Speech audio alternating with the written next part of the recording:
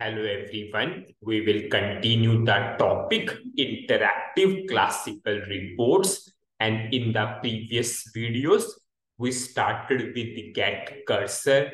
We discussed what is get cursor statement, what is the syntax of get cursor statement and in the last video I showed you in the debugging mode in this particular variable, we will get the field name.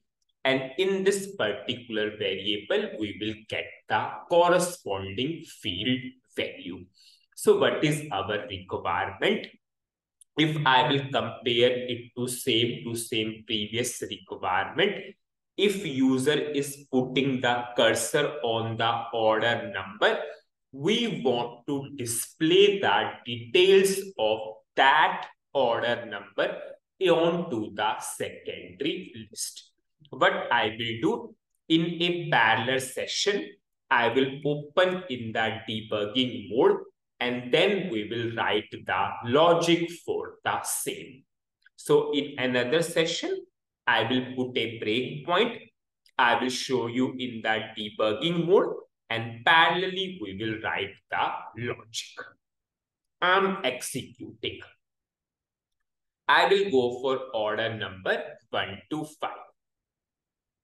Whenever I will double click, you all know, yes, I'm putting the cursor first. And whenever I will double click, you all know at line selection event will call. As of now, we are handling for order number itself because if we are comparing it to previous requirements, we are displaying that details of the order number onto the secondary list from the order item table. So we will achieve same to same requirement through get cursor. Firstly that, then I will come on to other columns also. Suppose I'm double clicking. You all know at line selection event called and whenever I will execute this statement, here we have the, in this LV field, we have the column or field and in LV value, we have the value. So I will write the logic for the same. I will firstly remove this get cursor.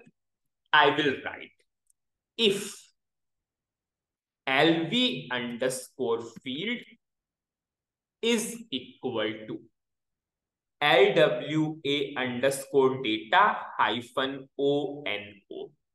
It means user is putting the cursor on the order number column. This is what we want. If user is putting the cursor on the order number column, we will fetch that data from order item table we will fetch that data from order item table. I will uncomment loop also. You all know for every if there is a and if. Now, now rather than SY L-I-S-E-L, we need to pass the variable in which variable we have the order number and if I will show you in that debugging mode, in LV underscore value, we are getting the order number. So rather than using the system variable SY L-I-S-E-L, I will pass LV underscore value. You all know input is always on the right hand side. So in our current scenario, we put the cursor on order number one so order number is equal to 1. It will go to order item table. It will fetch the data of these three column and data will come into this internal table and we are displaying. So I put a if condition that yes, if user is putting the cursor on the order number column, yes, we will fetch that data from order item table based upon the value of that order number. Now what I will do, I will simply execute from this session. And now I will put a breakpoint into this particular session and we will understand are we getting the expected output or not. So I will put a breakpoint here as a part of at line selection. I will go to execute. I will go for order number 1 to 5. This is our basic list. Suppose I am putting the cursor on order number 2 and I am clicking on to choose button. You all know at line selection is called. So this particular statement got executed. So what is LV field? You put the cursor on order number column. So LV field is work area hyphen order number.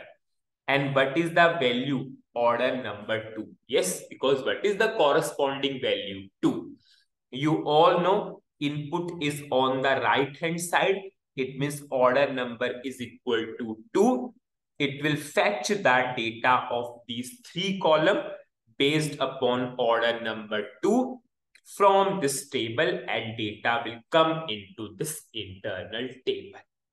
As of now, this internal table has zero records. Suppose if I will do F6, firstly, this if condition is true, yes, because our LV field is this only. Now we are executing this query. So I am doing F6. You all know F6 is line by line execution.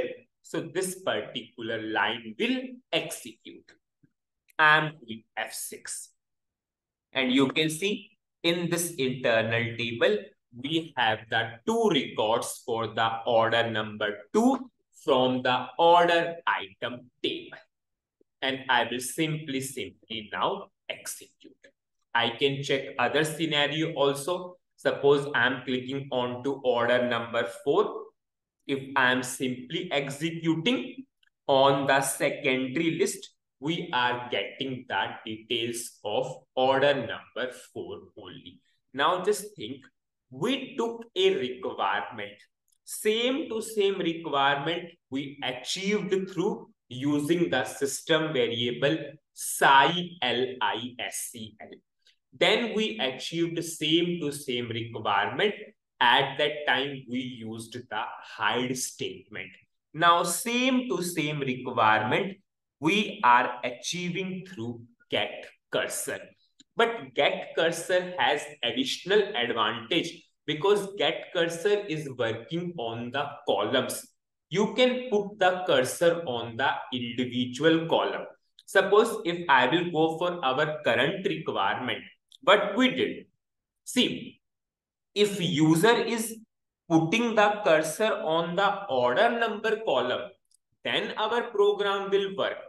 Suppose user is putting the cursor on order number column. We are getting the result. Now, if user is putting the cursor on other columns, order date, payment mode, and currency, in that case, we will not get anything. Suppose if I will put the cursor here and click on to this button, have you seen nothing? We are not even going to the secondary list at all because this if condition is false itself because our column is not order number our column is order date. But yes it is very useful where or widely used in the projects. If customer want different different secondary list on the selection of different different columns. Now what we will do in the next video we will write the logic. We will go for or we will do some secondary list based upon order date also, based upon payment mode also, and based upon currency also. This is the additional, I'll say most important advantage of get cursor. You can go for different, different types of secondary list based upon the selection of the column where user is putting the cursor. on which column user is putting the cursor. So in the next video, I will write the logic for order date, payment mode and currency also. We will take small, small requirements and we will do this part also. So what is the summary of this particular video? In this video, firstly, we saw in the debugging mode that in LV field, we are getting the column name. In LV value, we are getting the corresponding value. As of now, we are achieving same to same requirement. So in our current particular example, we took order number because we want to display the details of the order number from order item table based upon the order number. So we simply put the if condition. We are fetching data from order item table based upon the order number. Because in this LV value, we are getting the order number and we are displaying the result. So that's it in this particular video. Thank you.